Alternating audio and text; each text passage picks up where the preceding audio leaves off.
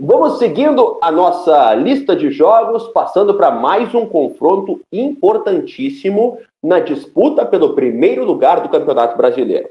Neste sábado, quatro e meia da tarde, no Navia Bichedi, acontece o confronto entre Red Bull Bragantino e Palmeiras. Alain. Chance rara, Marinho, porque nos últimos programas a gente sempre vem falando: olha, talvez o Palmeiras durma, jante na liderança, como foi no jogo da semana passada, né, contra o Atlético Mineiro. Mas dessa vez a gente vai ter uma disputa pela liderança simultânea, né? A gente não sabe, estamos tá, fazendo esse programa na sexta-feira, não sabe se o Fortaleza dormiu na liderança depois de jogar contra o Grêmio, mas o fato é Palmeiras e Botafogo disputam esse posto ao mesmo tempo. Jogo às quatro e meia da tarde no sábado é a faixa da Globo em TV aberta, já que não pode ter jogo no domingo por causa das eleições municipais. Então esse Red Bull Bragantino e Palmeiras passa para São Paulo e outra parte da rede, que a Globo ainda vai divulgar qual é, e o Premier mostra para todo o Brasil.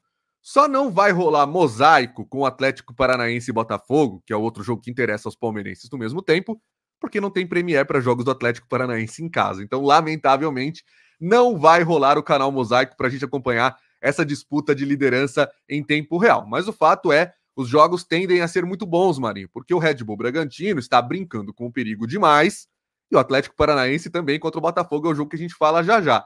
Mas o Palmeiras busca a liderança se ganhar e o Botafogo tropeçar, qualquer que seja o tropeço, pode ser empate, pode ser derrota. Se o Palmeiras vencer, terminará a rodada como líder do Campeonato Brasileiro no momento chave crucial, faltando depois desse jogo nove rodadas para o fim da competição.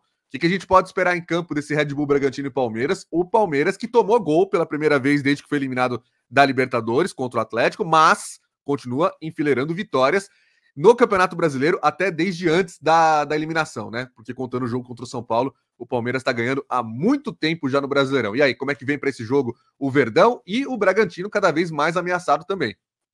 É, o Bragantino, dono da casa, vive uma situação complicada, está ali ameaçado pela zona de rebaixamento, não consegue engrenar no campeonato e perdeu um jogador importante. O John John está suspenso dessa partida, ele tem sido um dos destaques do Bragantino nessas últimas oportunidades, tem feito seus gols, tem dado seus dribles, feito suas jogadas bem interessante a atuação do John John, mas ele não enfrenta o Palmeiras. No departamento médico estão Luan Cândido, Natan Mendes, Thiago Borbas e Juninho Capixaba. Essa lista ela é a mesma já há algum tempo. Faz tempo que ninguém sai do DM do Red Bull Bragantino.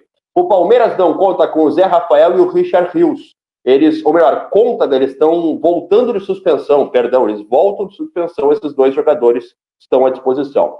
O Mike, ele está lesionado, deve ficar fora, não participou dos últimos treinos, mas o Estevão e o Marcos Rocha, que eram tratados como dúvida, voltaram a treinar. Então, eles devem estar à disposição, devem participar dessa partida em algum momento.